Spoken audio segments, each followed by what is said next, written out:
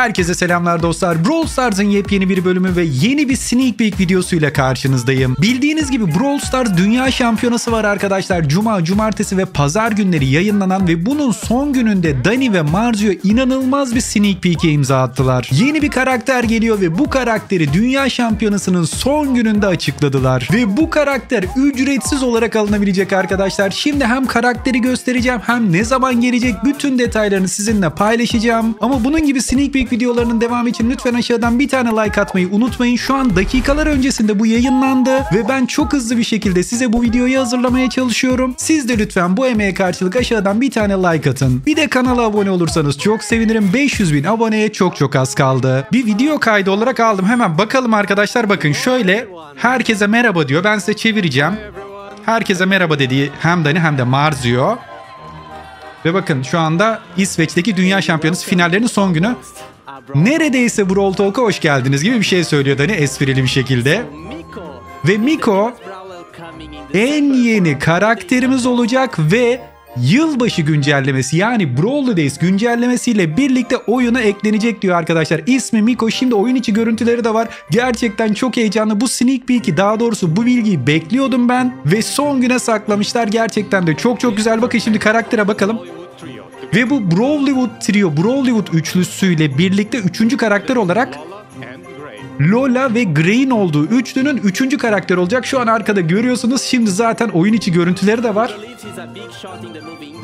Evet bu film endüstrisi içerisinde çok önemli bir rolde olduğunu düşünüyor ama ama gerçekte o bir maymun ve boom mic denen şöyle yukarıdan tutulan mikrofonlar olur ya o mikrofonu tutan bir karaktermiş arkadaşlar. Miko ismi.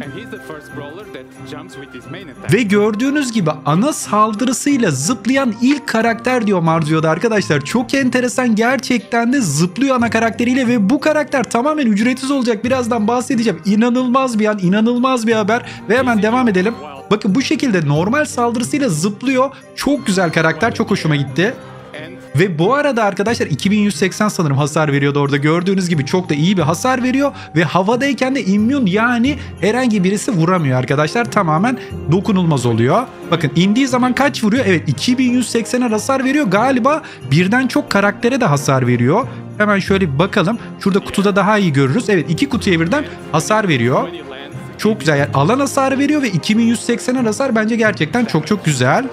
3 tane saldırı yapabiliyor. Bakın bu arada arkadaşlar havaya uçtu ya bu şey gibi hani Matrix'in böyle bir yukarıya doğru çıkma sahnesi vardı filmde. İzleyenler hatırlamıştır muhtemelen onun gibi yukarı çıktı. Bakın birçok saldırıdan da bu şekilde kaçabiliyor diyor arkadaşlar. Z normal saldırısıyla zıplıyor ya o şekilde kaçabiliyor diyor. Çok fazla canı yok, çok canı olmadığı için de dikkatli oynamanız lazım diyor. Tabii ki de bu tür karakterlerde çok can olmaz. Ve süper ile yukarı zıplıyor ve onun sadece gölgesini görebilirsiniz diyor. Bakın gördüğünüz gibi gölgesini görüyoruz. Ve indiği zaman inanılmaz bir hasar vurur diyor Marzu arkadaşlar bakın.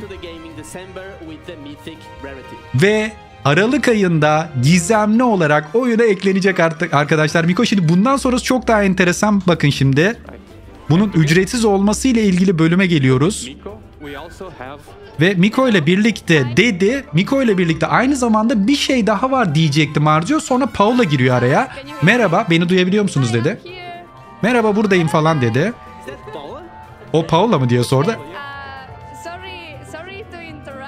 E, böldüğüm için üzgünüm, çok üzgünüm. Ama bir şey sormalıyım. Hatırlıyor musunuz? Edgar'ı bedava yaptığımızda yılbaşı güncellemesinde bedava bir şekilde çıkardığımızda ne kadar güzeldi hatırlıyor musunuz diye soruyor Paula. Tabii bütün her topluluk o anda çıldırıyor. Evet gerçekten güzeldi diye söylüyor Dani ve Marzio. Çünkü düşünüyorum da çok iyi olur. Eğer Miko'yu ücretsiz alsaydık çok daha iyi olurdu bu yıl diyor ve gerçekten de inanılmaz olur. Ve herkes tabii yine alkışlıyor.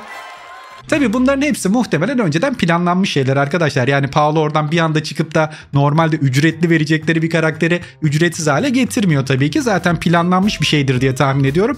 Birazdan zaten e, bunun ücretsiz olduğunu arkadaşlar da söyleyecek ama burada çok enteresan şeyler var.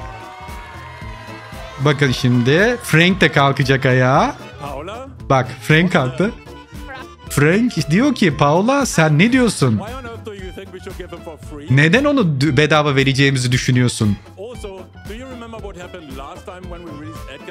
Aynı zamanda Edgar'ı bedava verdiğimiz zaman neler olduğunu hatırlıyor musun diyor. Hatırlıyor musunuz bilmiyorum. Edgar bedava geldiği zaman oyun falan çökmüştü. Serverlar kaldırmamıştı arkadaşlar. Ondan bahsediyor. Tabii ki bir espri yapıyor burada da Frank.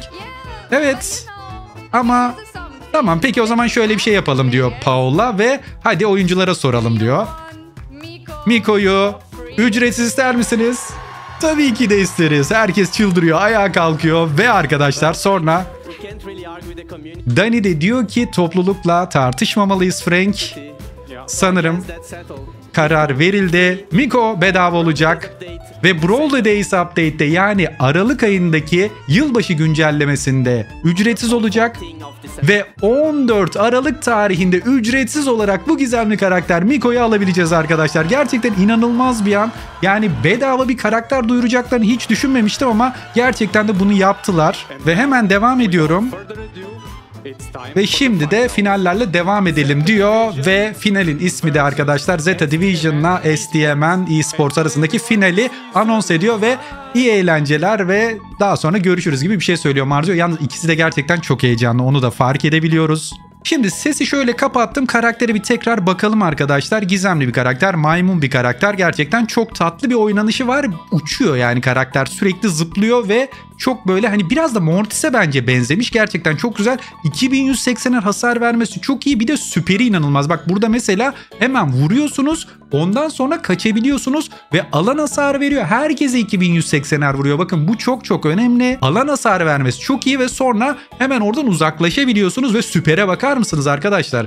Gölgesi gittikçe büyüyor. Sadece şeyi göremedik ya da varsa siz gördüyseniz yazın. Gölgesiyle yani süperiyle indiği zaman inanılmaz yüksek bir hasar verir diyor Marzuyo ama kaç hasar veriyor onu göremedik ya da var mı burada bir bak. Aa bir dakika. Evet indi ve 2380'er hasar verdi. Evet 2380'er hasar verdi. Daha sonra bir 3706 gördük. O iki kişiye birden vurduğu için muhtemelen ya da yük var herhalde. Yük sebebiyle galiba 3706 ama süperiyle de gerçekten çok çok güzel bir hasar veriyor. Hem normal saldırısıyla hem de süperiyle düşmanlardan kolay bir şekilde kaçabiliyor. Yani böyle bir süper oyunda başka bir karakterde var mı? Çok emin değilim arkadaşlar. Sizin bildiğiniz varsa yazın ama hem süperiyle hem de normal saldırısıyla gerçekten inanılmaz bir karakter ve 14 Aralık tarihinde de dediğim gibi arkadaşlar ücretsiz bir şekilde alınabilecek bu karakter ve bu karakter gizemli bir karakter olacak. Brawl Days güncellemesiyle bu arada bir tane de ücretsiz bir kostüm geliyor biliyorsunuz. Yani Brawl Days güncellemesi dediğimiz aslında şu 12 Aralık Brawl Stars'ın doğum günü ve 12 Aralık'ta başlayan bir ödül serisi başlatıyorlar.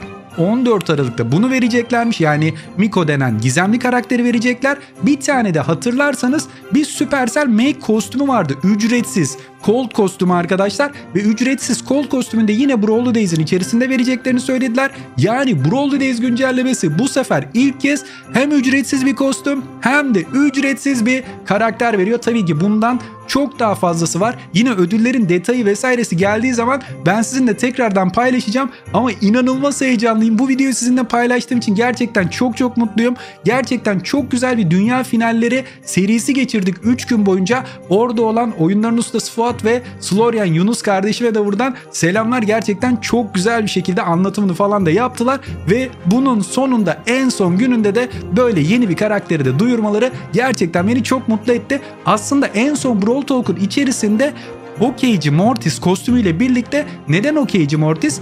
Bunu ilerleyen zamanda özellikle dünya finallerinde göreceksiniz gibi bir şey söylemişlerdi ve ben o günden beri de arkadaşlar bir sneak peek bekliyordum bu finallerin içerisinde ve son günde böyle bir şey yaptılar. İnanılmaz güzel ödüller geliyor arkadaşlar. Siz bu konuda neler düşünüyorsunuz mutlaka yorum kısmında yazmayı unutmayın. Dediğim gibi bu videoyu size yetiştirebilmek için çok hızlı bir şekilde yani sneak peek'i duyurur duyurmaz hemen video kaydına başladım ve olabilecek en hızlı şekilde sizinle paylaşıyorum. Lütfen bu emeğe karşılık aşağıdan bir tane like atın. Özellikle bu tür Brawl Stars videolarını anlık olarak sizinle paylaşmaya çalışıyorum. Son dönemde inanılmaz destek gösteriyorsunuz. Aşağıdan like atmayı, kanala abone olmayı unutmayın. 500 bin aboneye de çok çok az kaldı. Desteğiniz için hepinize çok teşekkürler. Ve son olarak hem marketten hem de Supercell Store'dan kod bölümünü Onur yazarak da bana destek olabilirsiniz arkadaşlar. Yine sormak istediğiniz sorular varsa onları da sorabilirsiniz yorumda. Ve bugün bir tane de arkadaşlar Shorts videosu paylaştım. Shorts videosu da Bilmiyorum takip ediyor musunuz? Star Park CCTV var. Oyunun içerisinde kameraya tıkladığımız zaman